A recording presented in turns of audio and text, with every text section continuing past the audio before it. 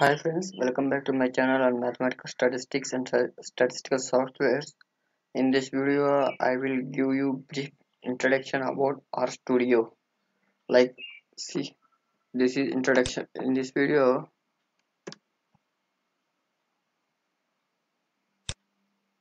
in this video, I will show you brief introduction about RStudio, like how to install, how to launch RStudio, and what what is the ingredients are there in RStudio All things we can explain in this video. See. This is introduction about RStudio. RStudio is, is an integrated development environment like C language, Python like that allows you to interact with R more re re readily. studio is similar to the standard R graphical universal interface but is considerably more user friendly.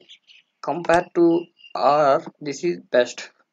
It has more drop-down menus, windows with multiple tabs and many custom options. The first time you open RStudio, you will see three windows.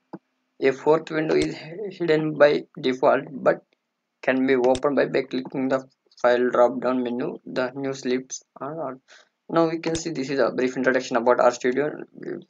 Why R studio become famous? Why R studio become famous? Because R studio having lot of predefined packages and R studio having free help by offline by offline. Now we can see how to install RStudio. Go to RStudio website and cl click on download download RStudio and follow the directions for operating system. In the description link, I will provide you how to install RStudio. You can click on this, then you can get RStudio website to now you can see how to launch RStudio. Open RStudio by clicking on the RStudio desktop icon. You are ready to go. RStudio is integrated development environment for R. It includes a console, syntax, highlighting, and editor that supports direct code execution as well as tools for plotting, history, debugging, and workspaces management. When you launch RStudio, you will see the following four windows or panes. These are the phones source console environment history files plots packages helps now you can see how it is. See this is source file this is environment and history this is console section this is files plots and help. Now we can see these all things in RStudio see this is RStudio this is console section by pressing this here you, you're getting source code here you're getting global environment and history all things here getting files plot packages help and view here you're having file section. In the file section you have how to save file. And uh, you get new project and import data set like this all things you have.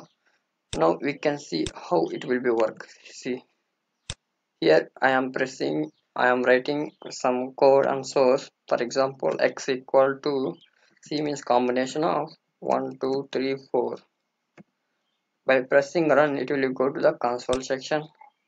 My x is one vector. This is integer. 1 2 34 all values saving here. See this is here we are saving x equal to 1 2 3 4 this size having 3 now we need to plot x plot x.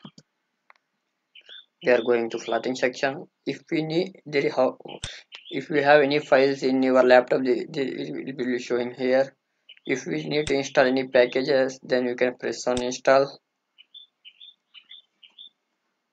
Then you can type which tab for example you need maximum likelihood function then you get that package from like that. Then you get help section by pressing help linear regressions.